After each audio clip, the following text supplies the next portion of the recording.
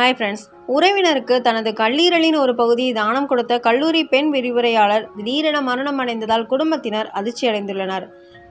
மங்களூரைச் சேர்ந்தவர் அர்ச்சனா காமத். வயது முப்பத்தி மூணு. இவர் மங்களூரு மணில் ஸ்ரீனிவாச நாயக் எம்பிஏ கல்லூரியில் விரிவுரையாளராக பணியாற்றி வந்தார்.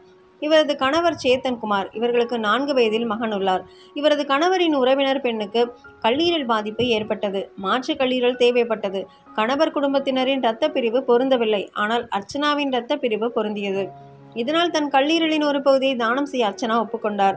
இதையடுத்து பெங்களூரில் உள்ள தனியார் மருத்துவமனையில் அறுவை சிகிச்சை நடந்தது. அர்ச்சனாவின் கல்லீரலின் ஒரு பகுதி அகற்றப்பட்டு உறவுக்கார பெண்ணுக்கு பொருத்தப்பட்டது. கல்லீரலின் ஒரு பகுதி அகற்றப்பட்டாலும் அது மீண்டும் முழுதாக வளர்ந்துவிடும். அதேபோல தானம் பெறுபவருக்கு பொருத்தப்படும் கல்லீரலும் முழுதாக வளர்ந்துவிடும். அறுவை சிகிச்சைக்கு பின் அர்ச்சனா மருத்துவமனையில் சில நாட்கள் ஓய்வெடுத்தார். இதன்பின் மங்களூரு கரங்கல்பாடியில் உள்ள வீட்டுக்கு திரும்பினார். வீடு திரும்பிய சில நாட்களில் அவரது உடல்நலம் பாதிக்கப்பட்டது. உடனடியாக மங்களூரில் உள்ள மருத்துவமனையில் அனுமதிக்கப்பட்டார். ஆனால் சிகிச்சை பலனின்றி இம்மாதம் பதினைந்தில் உயிரிழந்தார். இதற்கான காரணம் குறித்து மருத்துவர்கள் விசாரித்து வருகின்றனர்.